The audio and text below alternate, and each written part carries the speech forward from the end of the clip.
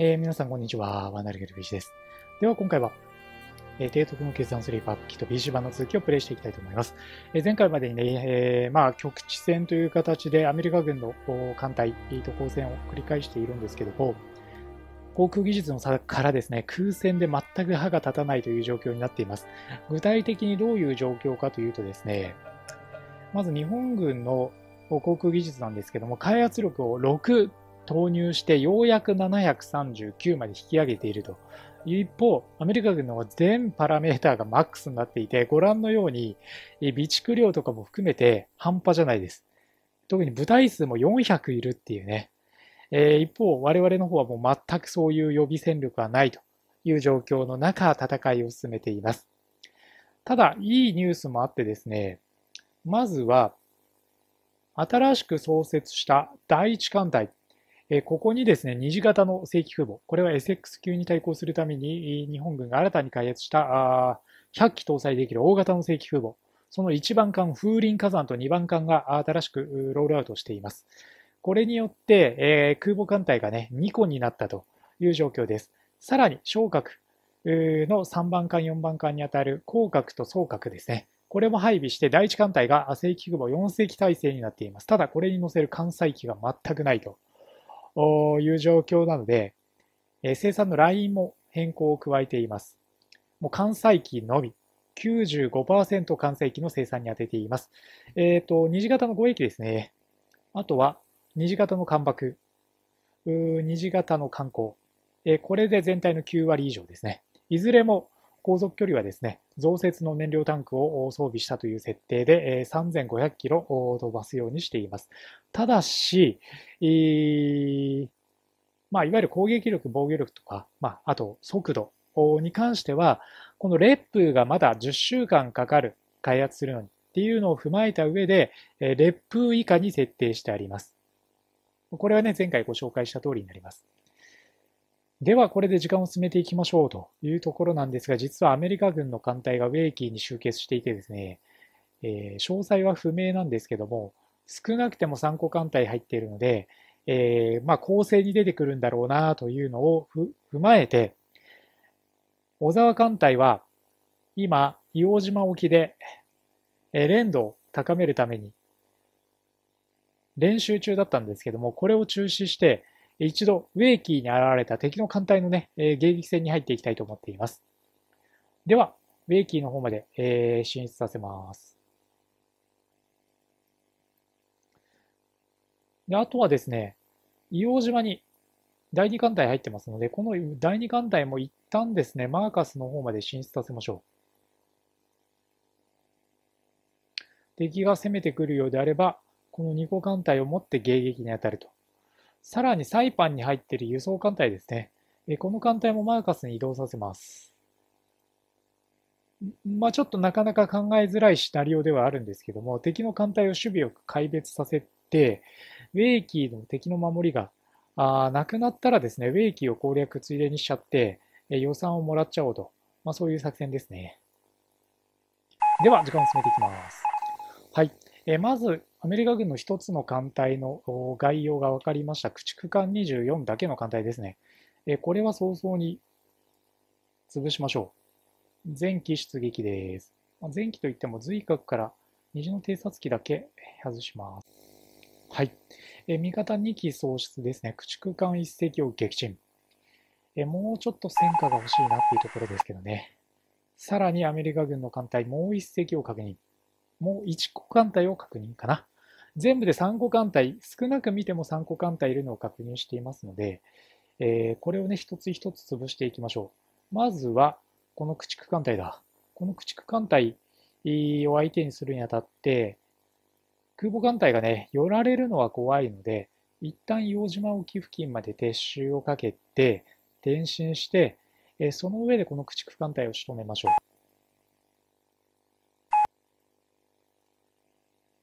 う。うん。敵の空母がいるな、やっぱり。まあ、いるとは思ったよ。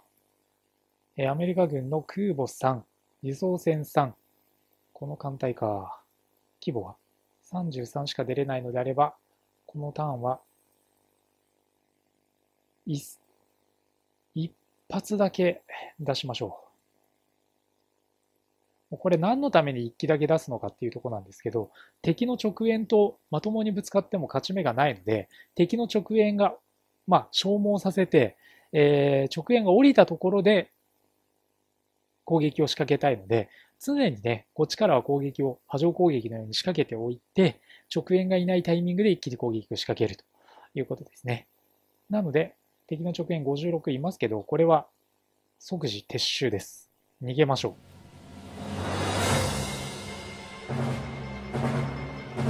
離脱。アメリカ軍の第9艦隊空母3、輸送船3、直縁56ですね。硫黄島から敵のじゃあ輸送船団を撃破しておきましょう。これはお任せしちゃいます。駆逐艦1隻を撃沈。硫黄島の方に新山を増強してもいいかもしれないなサイパン、硫黄島。この辺りにね。では、えー、今度は前期出撃してアメリカ軍の第9艦隊空母3の艦隊を狙いましょう。前期選んでいきます。まあ、ただ、虹の偵察機だけね、減らしておきましょう。これで全204機出撃していきます。敵の空母3。直縁の数が24ですね。これはチャンスだな。では、敵の空母艦隊を仕留めにかかります。はい。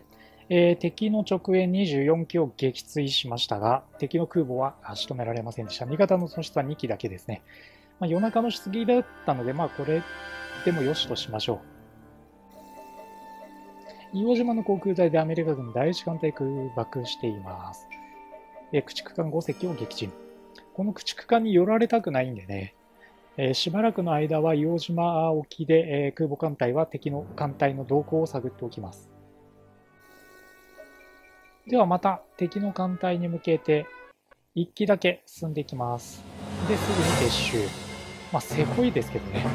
この戦い方以外に、アメリカ軍に勝つ術はない中で、3つ目の艦隊確認しましたね。これ潜水艦隊でしたね。ん？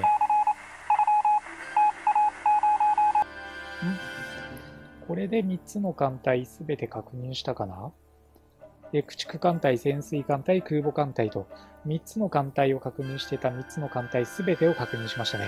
ただね、確認できた艦隊が全てではないので、第4、第5の艦隊がいる可能性も、えー、排除しないでおきたいとは思います。では前期出撃させていきましょう。アメリカ軍のね、えー、空母艦隊と思われる第9艦隊に向けて、えー、小沢機動部隊から関西機前期出撃させていきます。これで敵の直縁はすり減らしてあるはずなので、しっかりね、敵の空母を仕留めに行きましょう。敵の直縁6。大きすぎる。これなら仕留められるぞ。敵の空母を狙っていきます。では敵の直縁はね、えっ、ー、と、ほとんどいない状態なので、もうこのまま委任で敵の空母を仕留めにかかりましょう。正規空母サンクチュアリ。前がかっこいいな、サンクチュアリ。サンクチュアリっていう漫画、ご存知ですかね結構好きなんですよね。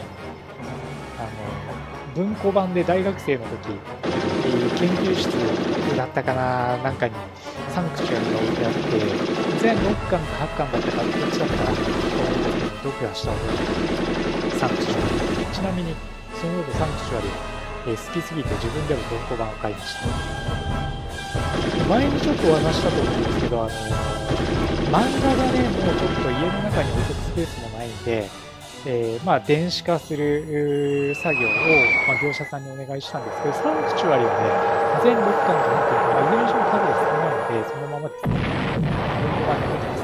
ワンピースとかドラゴンボールとか、まあ、30巻以上のもの、まあ、ワンピースに関してはもう100とかそういうレベルなんで、そういうものをね、ちょっと手元に置いておくと、もうスペースが全くないので、そういったものをね、電子化しました。っていうね、ちょっと脱線してますが、順調に敵の艦隊を仕留めてる。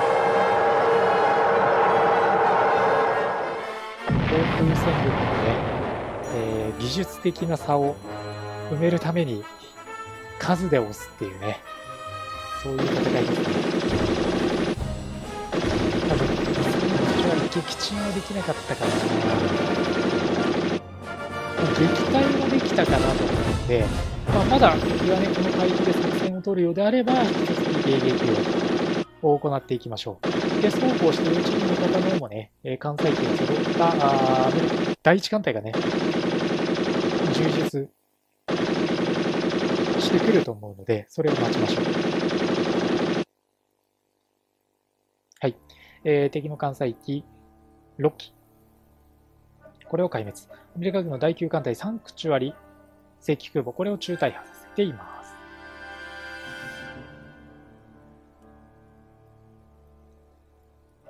マーカスに入っているヤマト、ムサシをいつ購入するかですよね。もうちょっと引きつけたいんですよね。もしくはもうちょっと敵の空母を削りたい。そしたらね、出せるタイミングが来るかなと思うんですけどね。これ空撃しようにもおそらく敵の直縁、味方の数も足りないと思うので、また例によって、せこいですが、一隻、うん、一機だけ出撃させて、すぐに撤収。敵の直縁をね、えー、すり減らしていきます。敵の直縁34。今度は34上げてたな。で、次の攻撃では、敵の直縁がほぼいない状態で攻撃ができる可能性があるということですね。できれば見失わないでほしいな。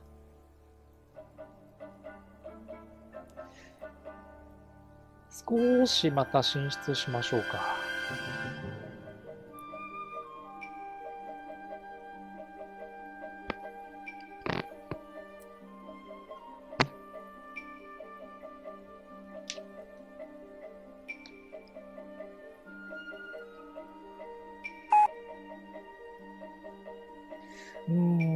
敵の空母を発見できなかったんだな。絶対に仕留めたかった敵の3空母、仕留められないので、ここは、えー、駆逐艦をね、えー、撃墜、うん、撃沈しておきましょう。おー、と思ったけど35しか出れないのか。だったらここは温存だな。温存します。で、こっちが敵の空母だな。こっちの空母を仕留めるにあたって、この駆逐艦隊が邪魔なんだよね。一隻撃沈。八隻の輸送船を撃沈してます。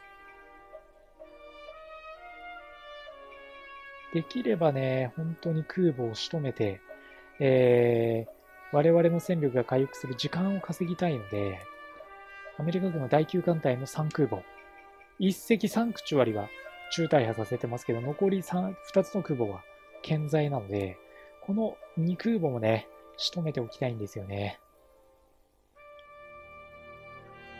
まあ、ただ戦い方としてはこのアウトレンジ波状攻撃で一つ、光が見えたかなと思うので、しばらくの間はこの戦い方をしつつですね、新しいレップ、さらにレップの次、神殿、ここまで開発が進むとアメリカ軍の航空機とね、えー、やり合えると思うんですが、この神殿の開発完了まで19週間かかります。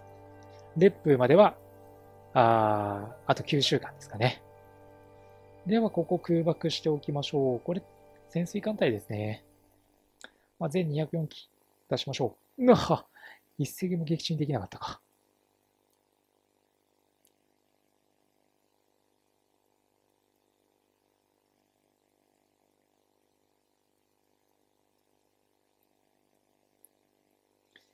アメリカ軍、ウェーキーに艦隊入ってるな。これは、第4の艦隊だな。駆逐艦でも潜水艦でも、3空母を要するアメリカ軍の第9艦隊でもない。4つ目の艦隊がウェーキーにいるな、今。ウェーキーにいるこの艦隊を、飛行中に空襲することができれば、この艦隊壊滅させられますよね。ちょっとそれを、目論みますか。攻撃は中止。ここに入ってるアメリカ軍の艦隊。この規模がわからないな。これ知りたいなうー知りたい。知りたいけど、とりあえず第二艦隊を出して敵の駆逐艦隊を壊滅させましょう。邪魔くさいので。硫黄島からも空爆します。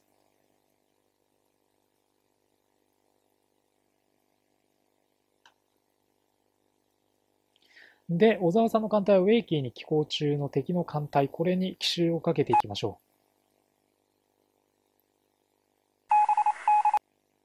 う。ん？空母6って今ちょっと見えたよね。空母6の艦隊がいるのか？ここの海域に。どこだ？それが事実だとすると、かなり厳しくなるな。どこにいるんだ？空母6という。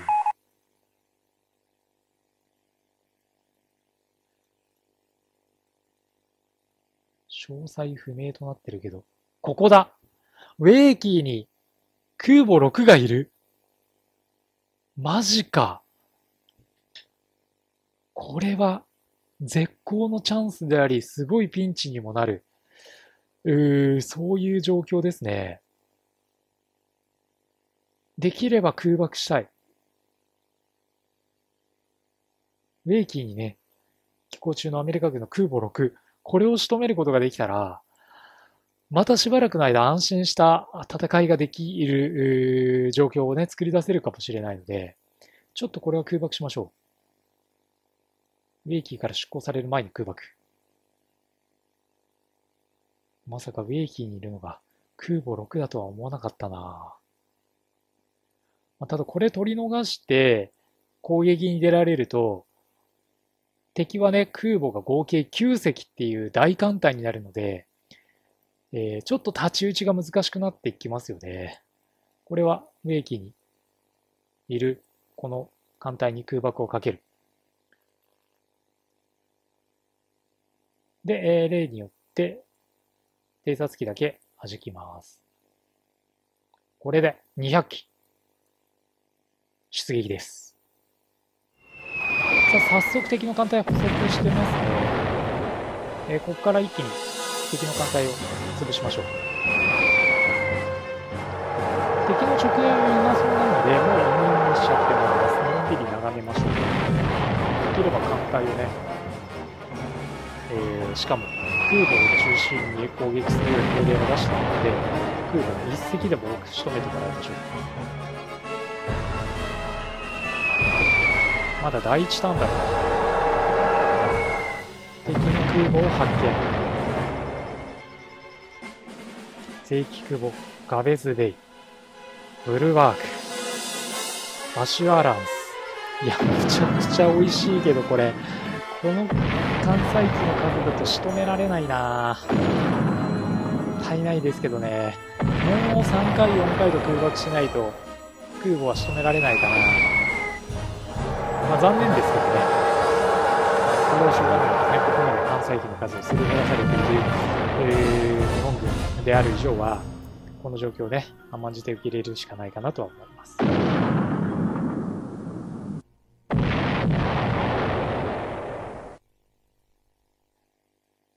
はい。えー、巡洋艦1隻を撃沈、輸送船3隻を撃沈しています。戦艦1、空母6、空母は2個の船体におそらく分かれてますね。はい。えっ、と、アメリカ軍の第9艦隊ですね、空母3隻いた艦隊からですね、空爆を受けて、えー、栗田艦隊ダメージ出てます。で、栗田艦隊の方なんですけど、大和武蔵は健在なんですけども、護衛艦の数がすり抜けていて、一度呉に戻します。で、呉で、えー、巡洋艦が新しくロールアウトしてますので、これを補充させます。んで、第9艦隊を狙うか、ウェイキーの空母を狙うか。まあ空母かな。空母を狙いましょう。な、数が足りないか。